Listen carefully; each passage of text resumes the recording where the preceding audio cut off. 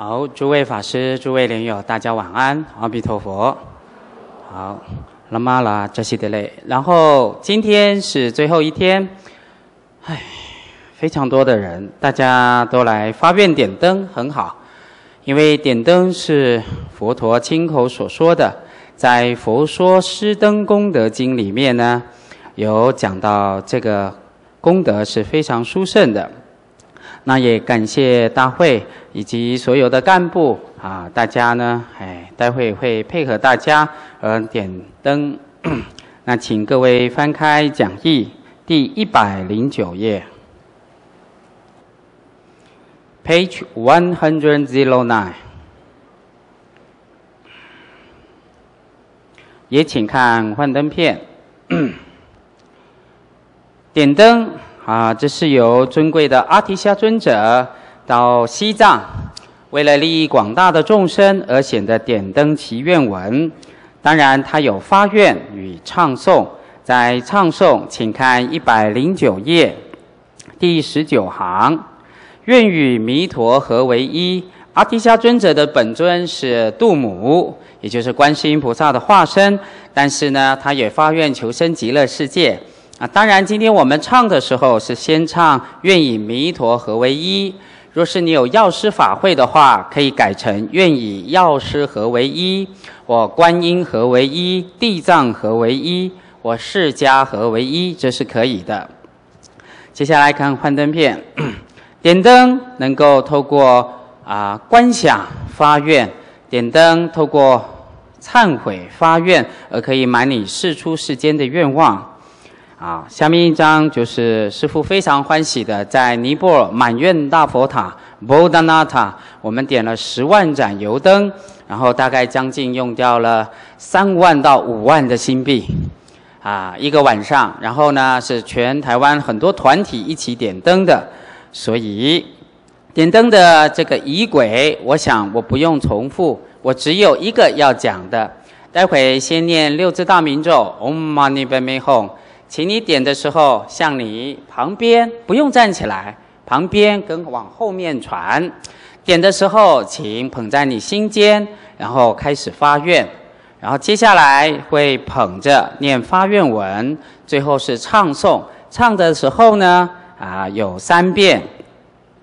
请看一百零九页第十三行，Om Benza Aluge Ahom，这叫神变咒。观想你点的灯，一盏变七盏，七盏变无量无边，就像天上的星星一般。啊，最近啊，菲律宾啊也有大水，然后泰国也在抢救当中，所以这个地球上呢是很多灾难的。也希望我们能够发愿，然后呢，哎，减少众生的苦难。心的力量是很大的。最后一百一十页。德亚塔本扎吉亚阿瓦波达那耶娑哈，这叫满愿咒。满愿的时候，请你向右旋转，看师傅的方向跟你是相反的。老菩萨，你应该是向右，你的右边是哪一边？对，我当然是这样旋转嘛，你应该是这样转啊，对不对？哎，不要紧张，你的右边哪一边？有些搞不清楚。哎，你不要啊！你跟师傅同个方向的话呢，刚好反方向，你就变来生变外道去了。这不是开玩笑的。好，点的时候呢，有人问我是由下往上，还由里往外都可以。你由下往上吧，对不对？由下往上旋转，代表圆圆满满。小心蜡烛不要打翻，对不对？还有人要降，一二三，一二三，不要太紧张嘛，啊，知道吗？好，现在好，我开始念六字大明咒啊，请主席还有一位僧众啊啊，请不要讲话。然后我们先点结唱的时候唱六字大明咒，请你唱的时候很真心、很真诚，也开始观想。请合掌，跟我一起念三称本师圣号及开经记，一起念。南无本师释迦牟尼佛，南无本师释迦牟尼佛，南无本师释迦牟尼佛。无上甚深微妙法，百千万劫难遭遇，我今见闻得受持，愿解如来真实义。阿弥陀佛。请各位翻开讲义一百零七页，昨天讲到第二十五行，page one zero seven，lines is twenty five。就是昨天讲完，讲到这个段落，讲一切法都不是真实的，都是自心的显现，对不对？请看幻灯片。听说昨天很多莲友听到 one million，非常的高兴，一直嗨到现在。啊，这个故事是非常好的，希望呃各位可以常常去思维。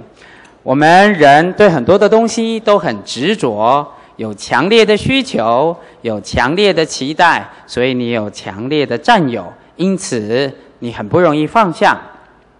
要放下，必须要有智慧，呃，要放下也要有功夫。所以我们佛经里常常很多高僧大德说，要看破跟放下。其实看破，若你没有智慧的话，你不学佛法，你是看不破的。要放下呢，要经过很长远的功夫，常常调伏你的心。当你的心能够慢慢变柔软，而能够不受外境所动的时候呢，你才能放得下。当然，在这个过程当中也会起起伏伏，英文讲 up down up down up down，所以但是呢，要常常鼓励自己，不要放弃。好，接下来请翻开昨天给各位听的音乐。就是烦恼即菩提，请翻开一百一十二页。哎，昨天呢给各位听了一遍，好，那因为我昨天只讲了一半，啊，我会继续讲，把这个讲完了以后，我们再回来看啊，秉持礼敬如来，广度众生。那经文并不难，哎，就可以讲完，还有一些问题要回答。好。现在请看一百一十二页。那为什么我在这个 Part Four 跟 Part Five 师傅要准备这个音乐呢？因为我发现华人呐，虽然很虔诚学佛法，但是呢，心绷得很紧。当然，绷得很紧，并不是代表说你就要放逸。看这里，师傅的念珠，你的心绷得太紧了，工作啊。家庭啊，啊，生活啊，对不对？你绷得很紧，所以啪嚓容易断掉的。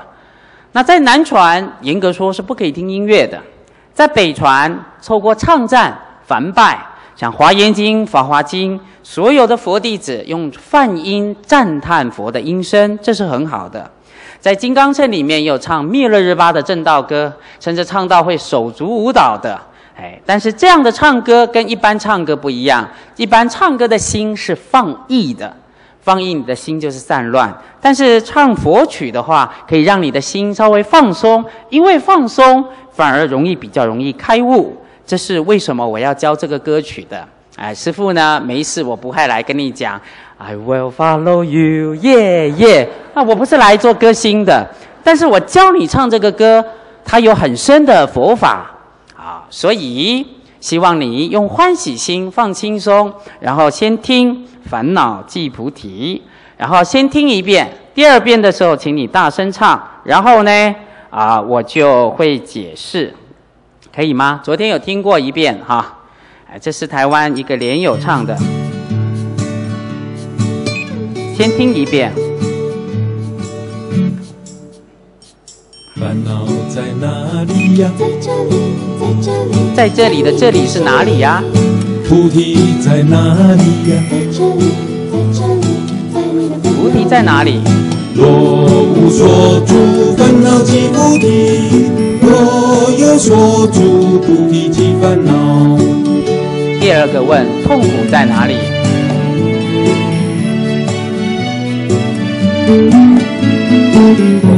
在哪里呀？在这里，在这里，在你的心里。菩提在哪里呀？在这里，在这里，在你的痛苦里。若无所住，痛苦即菩提；若有所住，菩提即痛苦。第三个问你的无名在哪里？你想在哪里？是在头呢，还是在心脏，还是你的屁股呢？在哪里呀？在这里，在这里，在你的心里。菩提在哪里呀？在这里，在这里，在你的无名里。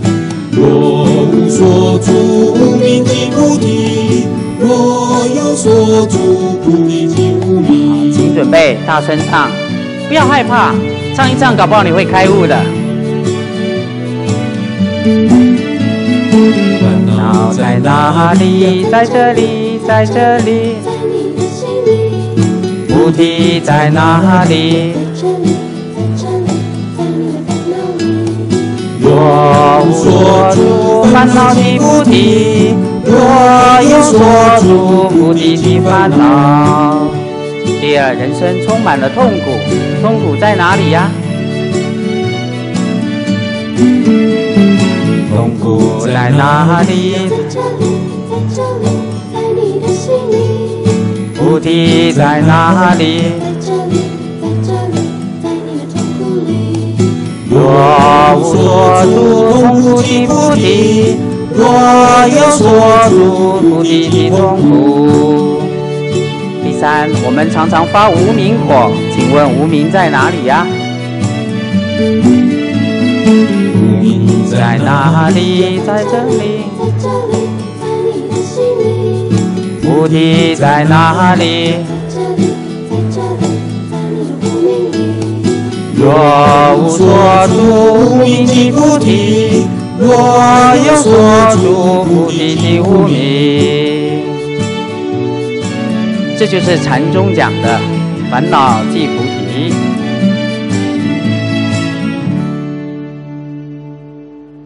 好啊、各位唱得好，掌声鼓励一下吧。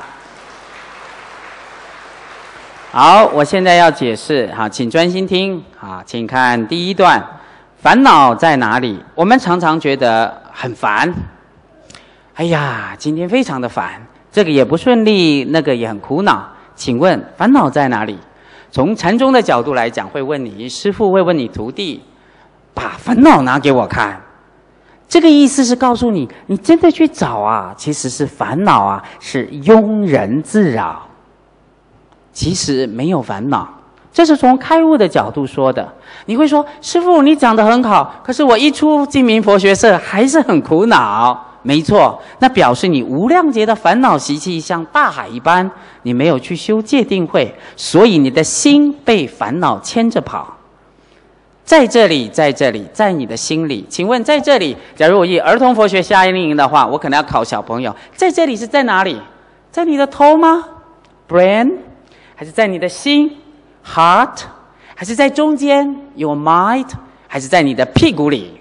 啊，我上次教小朋友，小朋友跟我说，在这里，在这里，因为他屁股很痛，烦恼在屁股。可见你的心是随着你的感受而去说的。其实在这里，在这里，在你的心里，注意听，这里的心不是啊、科学讲的 organ 心脏，不是，是在你的心的感受。我们佛法讲心意识。你坐在这边，你会感觉冷气开的，你很舒服。刚才点灯的时候，有人很感动，流眼泪。你为什么会感动？因为你有心。心虽然很抽象，看不到，但是它是广大无边的。佛法伟大的地方，就是要告诉你调伏你的心。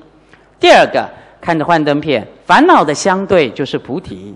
请问佛陀觉悟无上的阿耨多罗三藐三菩提，菩提心无上菩提在哪里呀？不在外面，在这里，在这里，在你的烦恼里面就有一颗菩提心，知道吗？就好像举个例子，你们喜欢吃粽子，粽子里面会包很多，对不对？粽子外面有糯米米，包到最后，哎，你终于咬到香菇了。请问香菇在哪里？在粽子里里面呢？你若不把一层一层一层的皮剥掉，一层一层的米剥开，你看不到香菇。这是一个比喻。菩提实上在哪里？也在你的心里，但是你在轮回的时候，菩提完全不见了。比如说，你当小狗、小猫，或者你堕入到畜生道或变恶鬼道的时候，你是身心全部都很痛苦，你是忘记了菩提。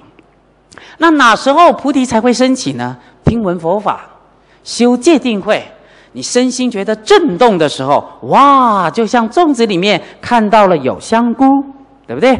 所以这是一个比喻。请问菩提在哪里？在你的烦恼里。接下来很重要，请看幻灯片。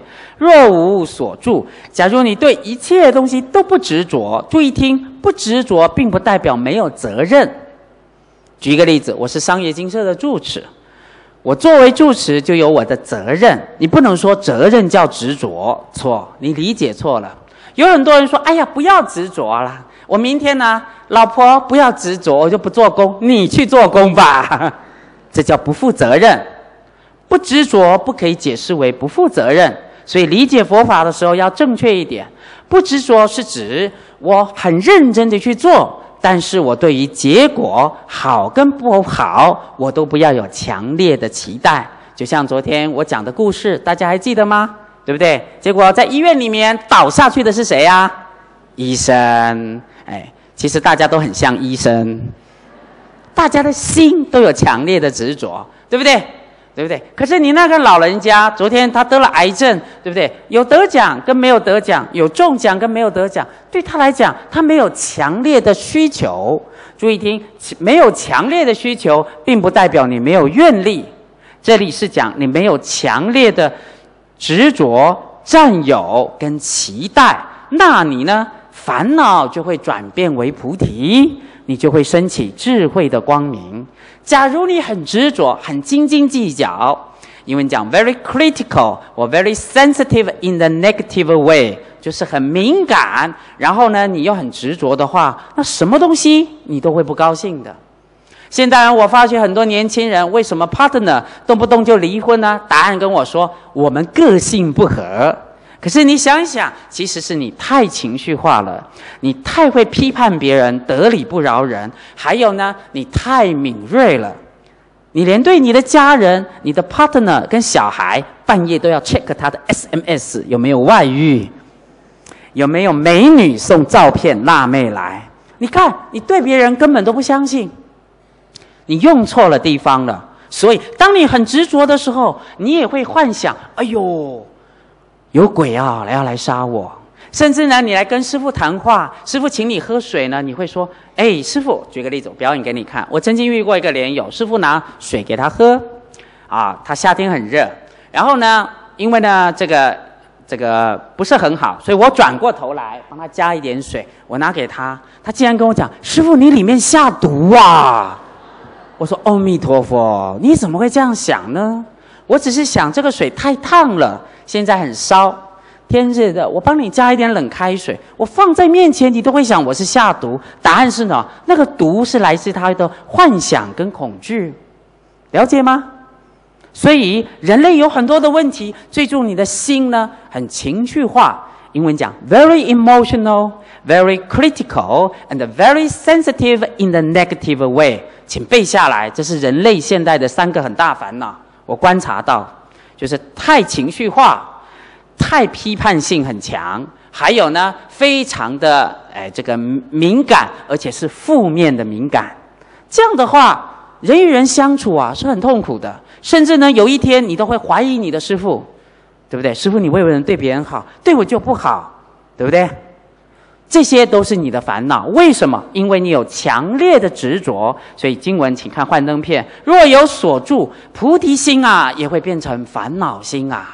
所以菩提跟烦恼是同一个心显现的，一个是正面的功能显现，一个是负面功能的显现。请看下面，请问痛苦在哪里呀？在这里，在这里，在你的心里，你会觉得心很痛苦，是因为你的心。曾经造过违反五戒十善的恶业，那个恶业像呢，呃，这个黑暗的这个烟一样盖住了你，所以你觉得很痛苦，所以要忏悔业障，要求佛力跟法力的加持。因为当你痛苦升起的时候，你是没有办法靠自己的力量去解决的，你要仰仗佛菩萨的大悲愿力啊，靠呢，透过诵经拜忏。然后修持这个法的力量，接下来再问：痛苦跟菩提一样，菩提在哪里？在。哪里？在这里，在这里，在你的痛苦里呀、请看幻灯片，为什么说痛苦里面有菩提呢？因为在痛苦里面，你才会升起大悲愿心。我常常举一个例子，佛教徒呢，可能修行很多年，到晚年说：“哎呀，师父，我很不幸了，我拜了三十年观世音菩萨，我还得了癌症啊！”然后你就被送到医院去了。没有错，师父可以体谅你的心，一定呢非常的复杂，可是这也是你的业啊。那你就会问一百个为什么？为什么？为什么？为什么观世音菩萨没有来保佑我呢？答案有，观音菩萨要保佑你，让你重报而轻受，对不对？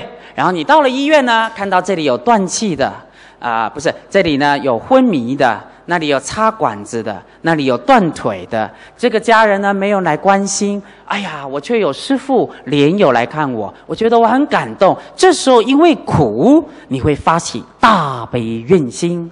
所以大悲观世音菩萨为什么在十方佛国土里面积的功德力最大呢？因为有苦难的地方就有大悲观音菩萨的护念。所以你不要去躲，也不要去逃避苦。当然，痛苦来的时候真的是很痛苦。你可能呢失去了家人，你家人得到癌症，对不对？走也走不了，然后在加护病房，然后呢你的生意被倒下来了，然后你遇到很多人事物的痛苦。没错，当下你真的会很苦，也可能会哭，也可能会放声大哭，甚至呢你会对生命甚至学佛放弃。但是不要放弃自己，原谅自己，也原谅别人。苦当中过了以后呢，当你回头看来的话，你知道吗？你会很感谢苦的，了解吗？师傅这样讲，真的我也经历过。你不要看我只有四十五岁，我一生也吃了很多很多的苦，在家出家，我吃了很多很多的苦。到了佛门呢，还是会被人家嫉妒陷害，还有呢，跑到我师父面前去说我的坏话的，有，很苦啊。所以你知道吗？你在我脸上看不到岁月的伤痕啊，这是真的。为什么？法的力量，法的力量洗涤了你的心。你要羞耻，要忏悔。没有成佛之前，每个人都有自己的恶业，躲也躲不掉。我常常举释迦牟尼佛到了成佛的时候，在《法华经》里，提婆达多都会破坏他。你说，难道佛陀没有羞耻吗？难道佛陀的智慧跟功德不够圆满吗？那他说，在磨练的当中，生生世世，提婆达多是我最好的善知识啊！若没有他这样磨我的话，我不会忍入精进。精进真上，佛陀不会这么快的成佛啊！所以，当你苦的时候，人家骂你、陷害你，说你的八卦，甚至背叛你，的确，你是人，it's natural，你会恨他。但是呢，念佛吧，忏悔吧，点灯吧，为他回向。当他的苦结束的时候呢，你回过头来，你反而会感谢他，因为他这样子。苦口婆心的在磨练你，所以你在修行的心的力量，你是在进步的，了解吗？所以若无所住，痛苦即菩提；若有所住，菩提即痛苦。最后，请问无名在哪里？这里无名有几个意思？讲知末无名跟根本无名。其实我刚才善巧方便是把这个无名解成现代化，你们最常发的无名火。我们常常。一不如意，你就会发脾气，有无名火。请问你今天起贪嗔痴的无名火在哪里呀？在你的心，在这里，在这里，在你的心里。菩提在哪里呢？在这里，在这里，在你的无名里。答案是你觉的时候没有执着，无名即是菩提；当你迷的时候，有执着的时候。菩提即无名，所以这个歌曲呢是非常有禅意的，希望各位可以好好去体会。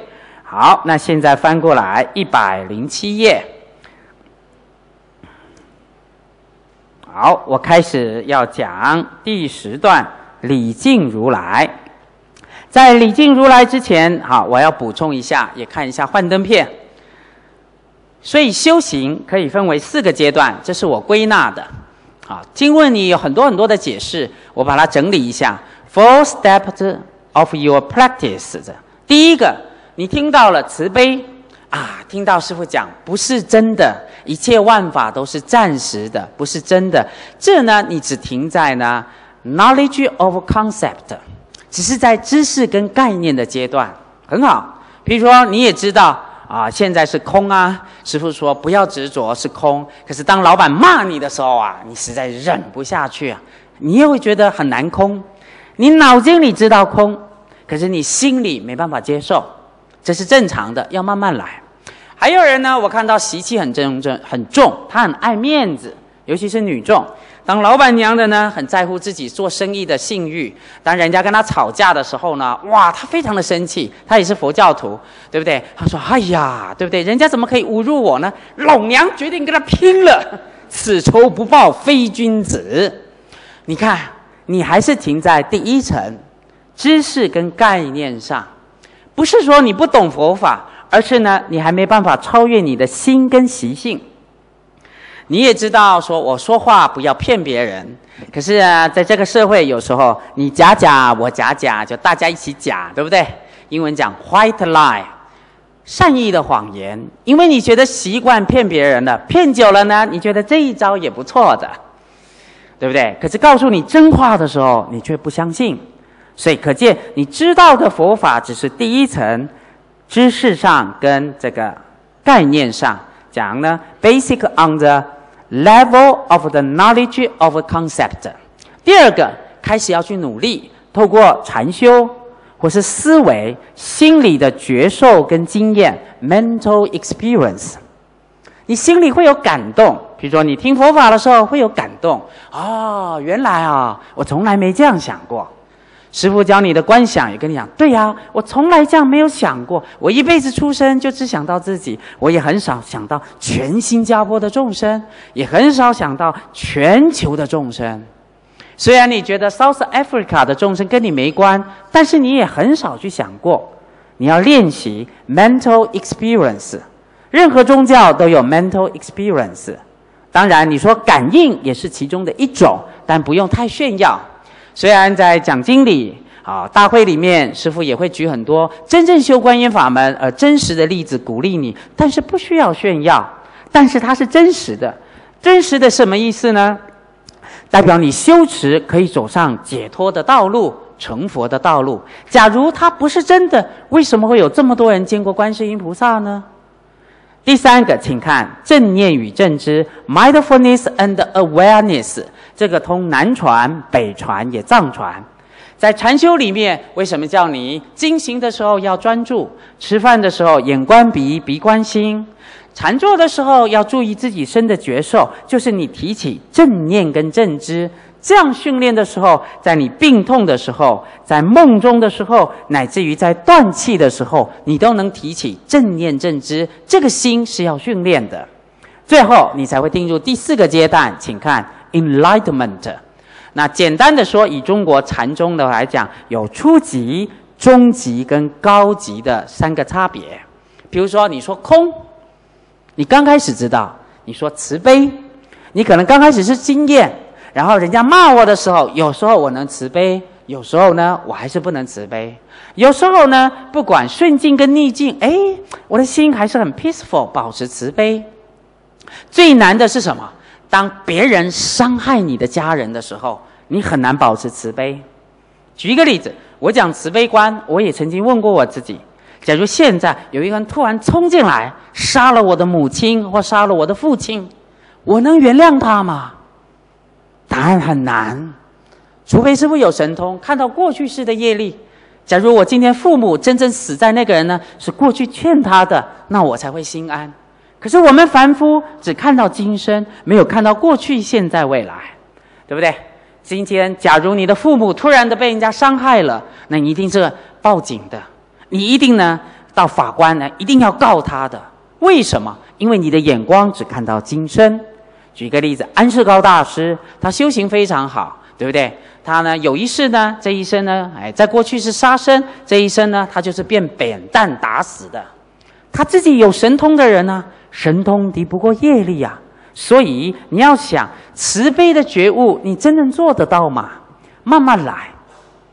甚至呢，你想想看，当别的国家攻打我们国家的人民的时候，你能原谅他吗？不容易。对不对？就像琉璃王三次要攻占释迦族啊，释迦牟尼佛也去劝他，但琉璃王就跟他讲：“佛陀，请离开。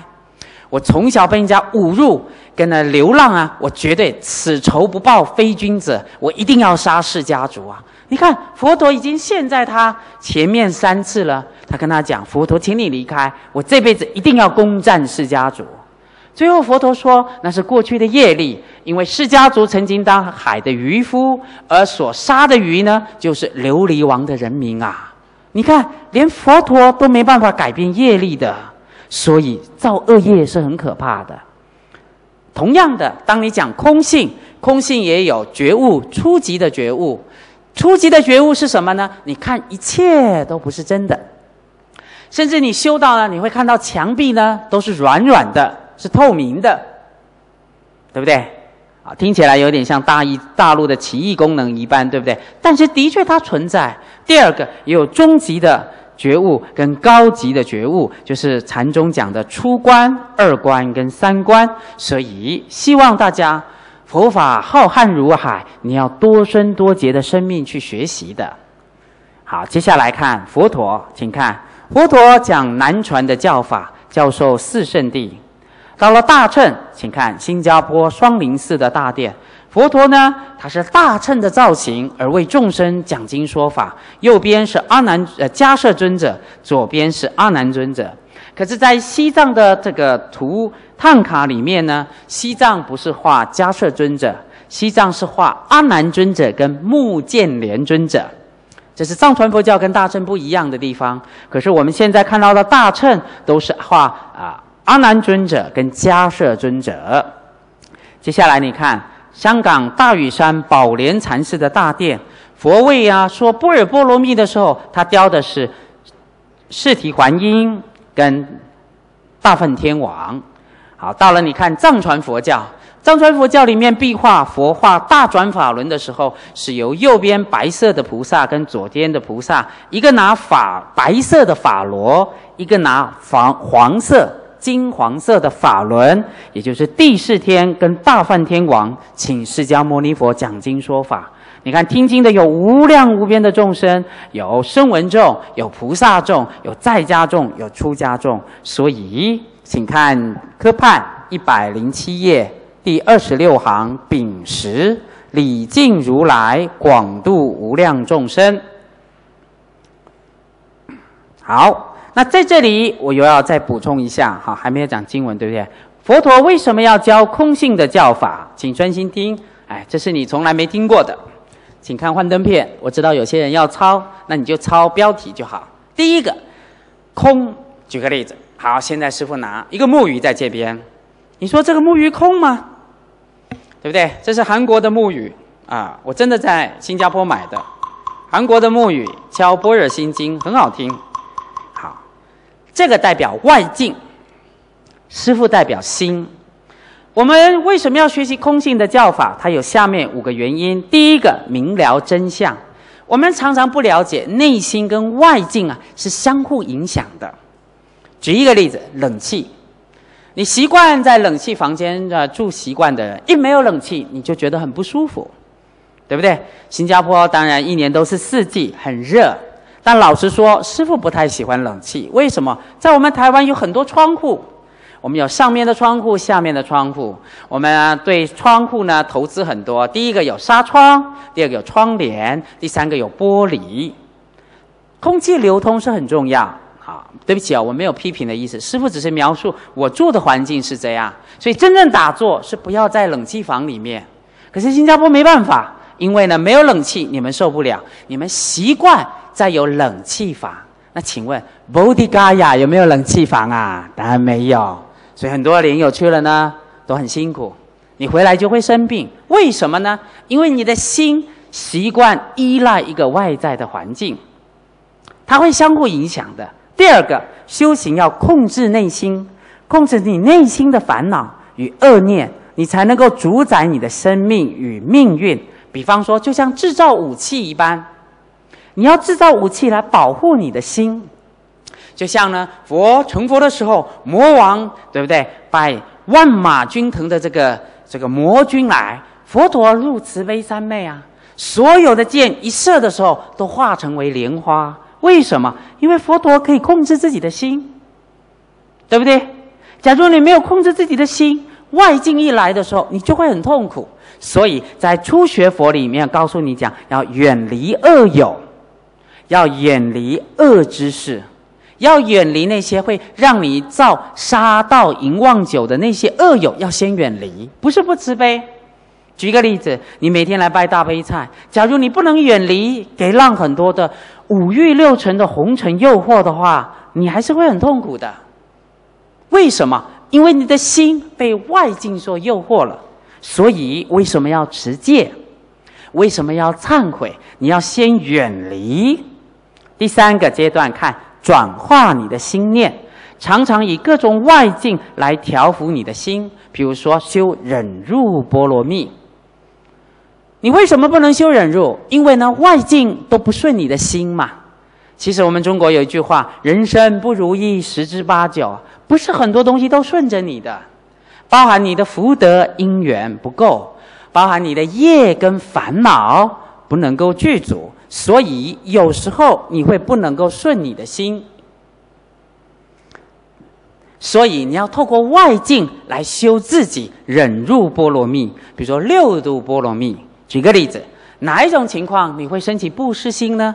看到一个可怜的老太太，在师傅一生当中，我觉得我想过，什么东西会让我感动掉眼泪？就是在菜市场，我们台湾有菜市场，然后呢有断手跟断腿，然后推着念佛机或阿弥陀佛，老公公老帕婆，然后这样在菜市场这样经过，我看到那一幕，我真的流眼泪了。为什么？我在想，假如这个是我的妈妈，我一定抱她放声大哭的。对不对？可是现在这个社会也有很多人会利用佛教的恻隐之心跟慈悲心，有诈骗集团会控制这些人的。为什么？因为他们已经很苦了，他还是被人家控制，对不对？所以你看到外境，你才会升起悲心啊。所以外境还是有它升起功德的效果。同样的忍辱，你没有人骂你，你怎么知道你今天忍辱功夫好不好呢？所以，假如你掌握到佛法修行的关键，老板骂你笑笑，错了呢就跟他道歉，你就改变；如果没有错，同事诬赖你，你就不要讲话，你就有忍的功德。啊，我念一段经文给你听，佛陀说的：“忍之为德，持戒苦行所不能及，能行忍者，名为有力道人。”在四十二章经讲。不施、持戒、忍辱，忍辱的功德比持戒还大。这是佛陀说的。所以《金刚经》，释迦牟尼佛做了五百世忍辱仙人呐。请问各位莲友，我们勉励自己，我们忍了多少呢？其实我们忍的很少，对不对？所以我们才不容易成佛。接下来再看第四个，当你转化心念的时候，透过修行界定会，慢慢的、慢慢慢，第四个，你就会不受外境的干扰，你就会开展自心所具无量的功效，像心念如如不动。所以《金刚经》讲如如不动，其实那不是初学的功夫，那是非常非常深的功夫。你要先忍，忍是禅定的前方便。假如你不能忍，你的心还是会动的。最后第五个，修空性是最根本的修持方法，修缘起性空的教法，你才能够断自己的烦恼。好，我为什么要补充这么多？因为在天上跟人间是最适合修菩萨道，以及积无量的功德，以及学习空性的教法的。所以，因此。我常常说，不管你在修无量的法门，最后你要成佛之前，你会拜两个菩萨，一个就是大智文殊师利菩萨。你看五台山戴罗顶文殊师利菩萨，释迦牟尼佛在因地里面也当过他的学生，他是教般若空性的教法。在藏传佛教里面也有五方文殊讲贝央文殊师利菩萨。所以藏传佛教里面，在念经之前，对不起，这边拉玛他们藏文比较好，哎，我们都会念讲贝尔逊努祖巴拉恰切罗，你看读，对不对？就是敬礼文殊师利妙童子，西藏人要念经之前都要拜文殊菩舍利菩萨，因为没有智慧的话，你是看不懂经文；没有智慧的话，你也是没办法背很多经典的。你看这里有五方文殊，代表五方佛的。